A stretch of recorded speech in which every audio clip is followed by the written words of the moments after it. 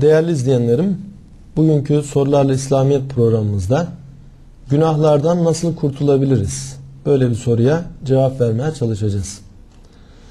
Değerli izleyenlerim, günah nedir? Peygamberimiz Aleyhisselatü Vesselam günahı şöyle tarif ediyor. El ithmu ma hake fi sadrik ve kerihte en yettali aleyhin nas.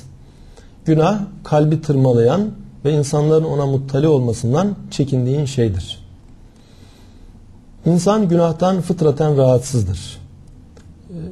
Ve mesela şöyle düşünelim. Bir insan e, ilk defa yalan söylüyor, yüzü kızarır. Başkasını aldatıyor, vicdanen rahatsızlık duyar.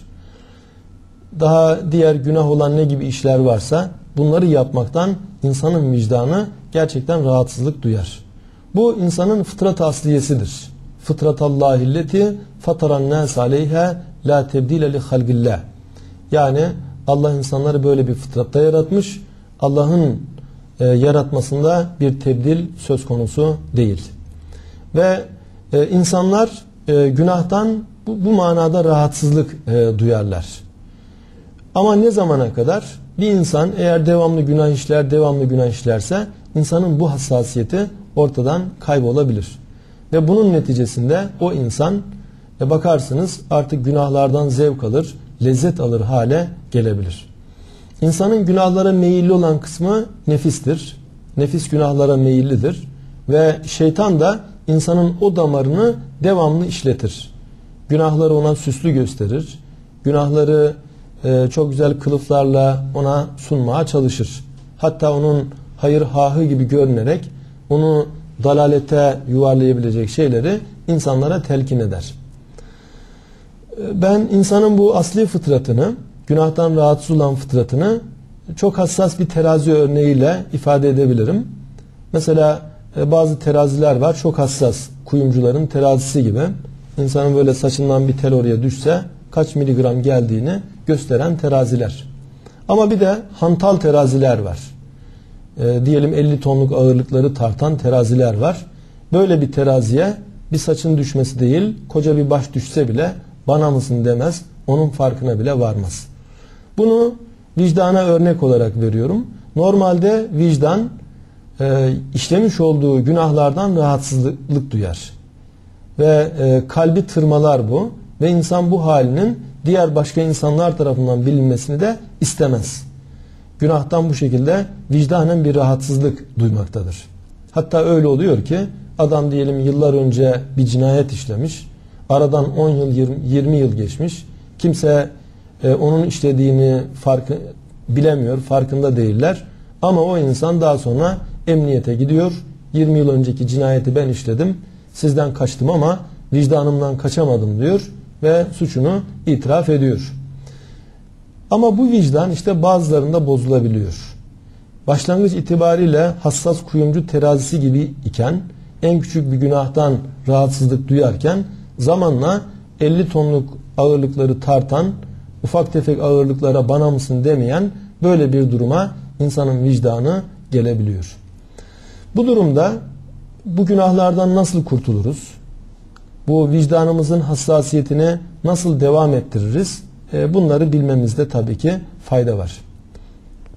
Değerli izleyenlerim, her şeyden önce günahlardan uzak kalmak bu önemli bir esastır koruyucu hekimlik diye eskiden hıfzı sıhha denilen sağlığı korumak, koruyucu hekimlik öyle bir alan var.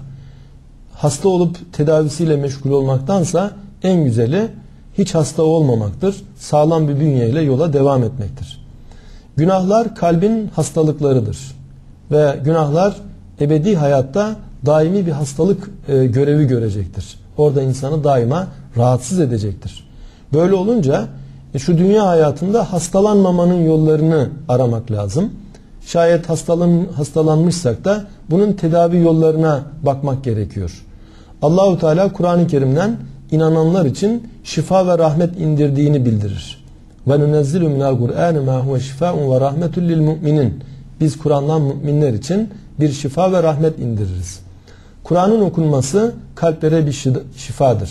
Kur'an'ın anlaşılması insanın azalarının da Müslüman olmasını sağlar.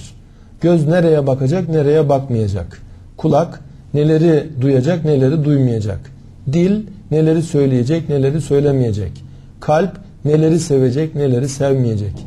Mide hangi lokmaları yiyecek, hangilerini yemeyecek. Bunların ölçüsü e, ayetlerde, hadislerde ortaya konulmuştur. Önce bunları bir bilmek lazım. Haram nedir, helal nedir? Bunları bilmek lazım. Ve ardından iradeli bir şekilde o günahlardan uzak kalmak gerekiyor. Her ne kadar nefsimiz istese de şeytan bizi oralara sevk etmeye çalışsa da uzak kalmak gerekiyor. Ve günahların bir çekim alanı vardır. Mesela mıknatısı düşünün. Eğer e, etrafında toplu iğneler varsa mıknatısın çekim alanına yaklaştıklarında ona kaptırmaktan kurtulamazlar. Belli bir mesafeye geldiklerinde hepsi mıknatısın çekim alanına girer ve o şekilde e, onunla birleşirler. Günahların mıknatısın çekim alanı gibi çekim alanı var. Belli bir noktadan sonra insanın nefsini kontrol edebilmesi adeta imkansız hale gelir. Belki de bu açıdan Allahu Teala Hazreti Adem ve Havva'yı cennette yarattığında her şeyi onlara serbest kılmışken bir ağacı yasakladığında şöyle buyurdu.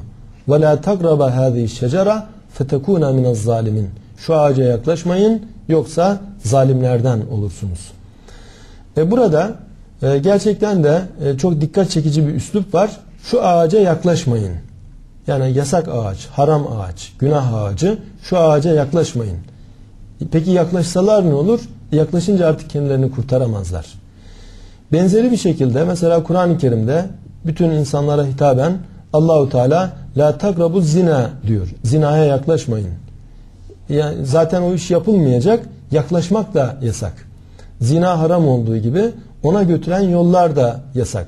Diyelim yabancı bir erkek kadının baş başa kalması gibi, tokalaşması gibi, e, şehvani şeyleri dinlemek gibi bunlar yaklaştıran şeyler. İnsanı günaha, harama yaklaştıran şeyler. İnsan bunlara yaklaştığında zaten netice meydana adeta geliyor. E, bu durumda demek ki günahların çekim alanından uzak kalmak lazım. Bu e, koruyucu hekimlik açısından son derece önemli ve gerçekten de her insanın dikkat etmesi gereken önemli bir husus.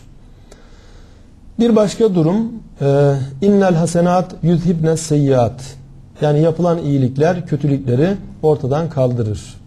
Eğer bir insan e, günah işlemişse tövbe eder. Tövbe onu ortadan kaldırır, siler. Birisinin gıybetini yapmışsa e, gider ona der ki senin gıybetini yapmıştım hakkını helal et. Ve bu bir iyiliktir. Yapmış olduğu bu iyilik e, daha önce yaptığı kötülükten onu kurtarmış olur. Hakkını helal et der. Bu şekilde helalleşir. Ve daha diğer iyilikler e, bunlar tabi uzun uzun anlatılabilir. Ben çok kısa geçiyorum. Bütün e, diğer iyilikleri böyle insan düzgün bir şekilde yapmaya çalıştığında kötülüklerden uzak kalmış olur. Bu da bir başka nokta. Tevbede tevbe etmek, istiğfarda bulunmak. Bir başka husus dua etmek. Yani günahlardan uzak kalmanın bir başka formülü Allah'a dua etmek, Allah'a iltica etmek. Ve şeytan üzerimize diyelim geliyor. Şeytan günahları bize süslü gösteriyor. Nefsinde bunlar hoşuna gidiyor. Aman ya Rabbi dediğimizde bizi şeytanın şerrinden, nefsin desiselerinden kurtar dediğimizde Allahu Teala duamızı elbette duymaktadır ve o duamıza göre Allahu Teala bizi günahlardan koruyacaktır. Bir de yüksek idealler taşımak. Ulvi zevklerin peşinde koşmak. Bu da çok önemli bir husustur. Ee, birisine demişler dünya ayaklarınızın altında olduğu halde neden dünyayı almıyorsunuz? O da demiş ki eğilmem gerekiyor. Ayaklarının altında olunca almak için eğilmek gerekiyor. Tenezzül etmiyorum diyor. İnsan öyle bir yüce ruh hali yaşamalı ki günahlara tenezzül etmemeli. Mesela gıybet. E, gıybet birinin ardından konuşmak, haince konuşmak. Yani mert bir insan böyle alçak bir silah, silahı kullanmaya tenezzül etmez. Hatta bir zat e, demiş ki ve ukebbiru nefsi an cezain bi gıybem. Ben düşmanıma gıybetle ceza vermekten nefsimi e, uzak tutuyorum. Çünkü diyor gıybet cehdi olmayan gayretsiz kimselerin e, bir e, silahıdır. Onların kullandığı bir silahtır diyor. Bir insan günahlara tenezzül etmemeli. E, günahlar adiliktir. Günahlar e, fıtrata bir isyandır. Günahlar diğer alemde ebedi daimi bir hastalık gibidir. E böyle bir durumda insan nasıl ki çarşıya çıktığında çarşıda diyelim iyi mallar var bir de bozuk mallar var. Herhalde sapasağlam yumurtalar varken çürük yumurtalara sahip çıkmayız. Sağlam kavunlar varken çürümüş kavunlara sahip çıkmayız. Sağlam elmalar varken çürük elmaları sepetimize doldurmayız. Benzeri bir şekilde güzel söz varken e, kötü söze sahip çıkmanın, ona müşteri olmanın bir anlamı yok. E, evlilik halinde mutlu bir hayat yaşamak varken gayrimeşru beraberliğe lüzum yok. Allah'ın sanat eserlerini seyirden zevk almak varken harama bakarak nefsi şımartmanın bir anlamı yok. Dinleyebileceğimiz Kur'an, ilahi gibi çok güzel e, şeyler varken, sesler varken haram seslerle kulağı doldurmanın, kendimizi o noktada perişan etmenin yine bir anlamı yok. İşte e, kamil insanlar bu şekilde günahlardan uzak kalmaya çalışırlar ve tertemiz bir şekilde Allah'tan almış oldukları e, ruhlarını, kalplerini yine tertemiz bir şekilde Allah'ın huzuruna götürmeye gayret gösterirler. Ayette şöyle geçiyor.